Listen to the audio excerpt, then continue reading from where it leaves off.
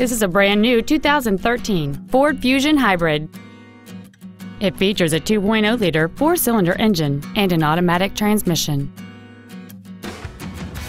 Its top features include XM satellite radio, aluminum wheels, and traction control and stability control systems.